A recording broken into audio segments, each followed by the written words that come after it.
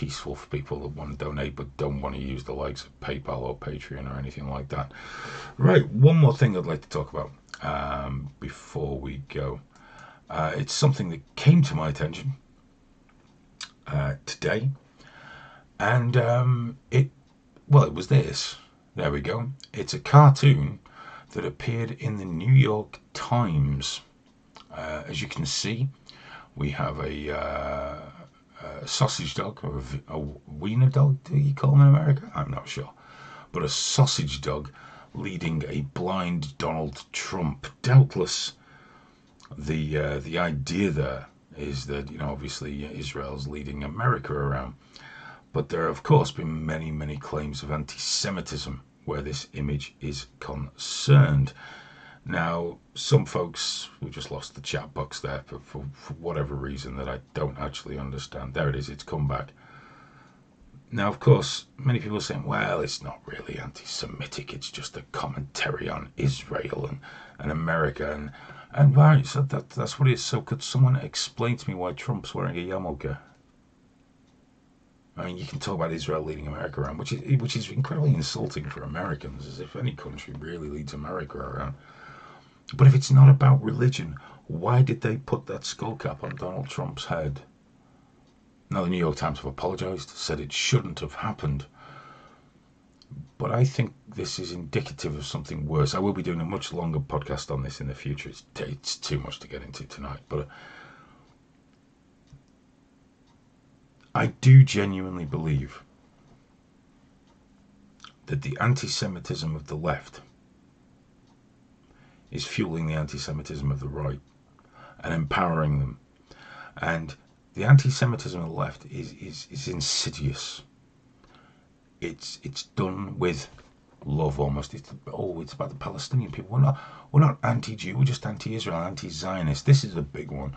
Well, I'm anti-all Zionists. Where Zionism is just the uh, the right for Jews to have their own state. Well, Jews shouldn't have their own state, so why should anyone else have their own state? Why should there be Muslim states and Christian states?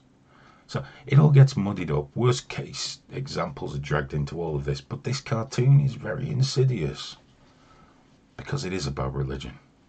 It's not just about the countries.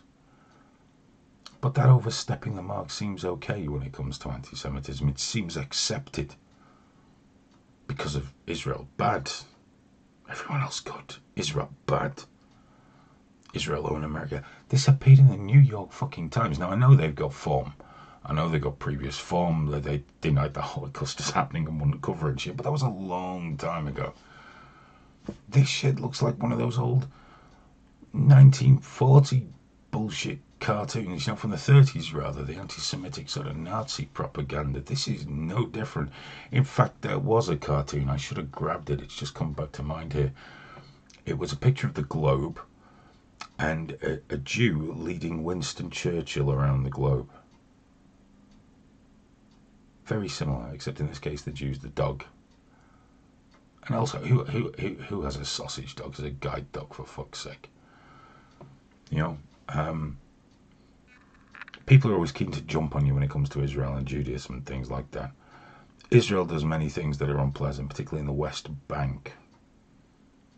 Hamas do many things that are unpleasant. Why aren't we screaming about them rewarding the family of a man who went out and murdered a Jewish girl? Because we don't. When Israel does something, it's the, it's the actions of the Jews. When the Palestinians do something, it's not the actions of the Muslims, it's just an uprising of the Palestinian people. It's two sided, and there is anti Semitism involved. Now, this in no way says the criticism of the Israeli state is anti Semitic, because that's not true. No government should be beyond criticism. Not a one single fucking government in the world should be beyond criticism.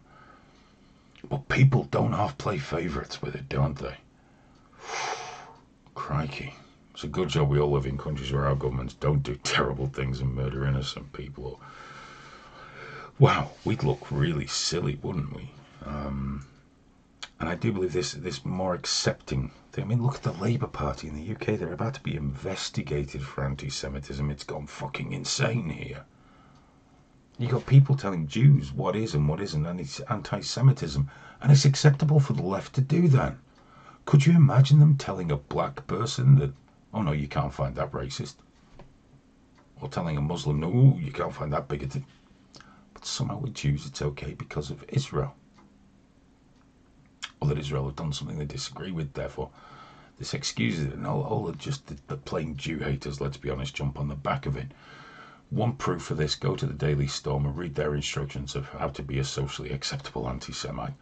Ticks all the boxes of the stuff that we see. And all that does is empower the right. And then fucking nutcases from the far right, they're the guys that have the guns, predominantly. They're the guys that have the guns. The far right, I'm not being conservatives. I mean race haters. I mean the full blown fucking white supremacist lunatics. They're the guys with the guns and they're further empowered to go on their missions of shooting innocent people, as we have seen just the other day. Because, you know, them Jews is bad. They control the world. They do all these things, so it's okay to shoot up a synagogue full of innocent fucking people. The left encourage this. The left are helping with this. The left are empowering the murderous people on the far right. Simple fact. Doubtless many will watch this video and tell me I'm talking shit, but as regular viewers will know, I don't really fucking care. If you can't give me a decent argument, I'll just put you in the box with all the other fucking idiots. And for those that even, please, that one comment that annoys me is, I suppose you think you're smarter than me. Because obviously, yes. Goes without saying. I'm a fucking genius who's never wrong even when I'm wrong. Um, so yeah, that was the New York Times practicing a little bit.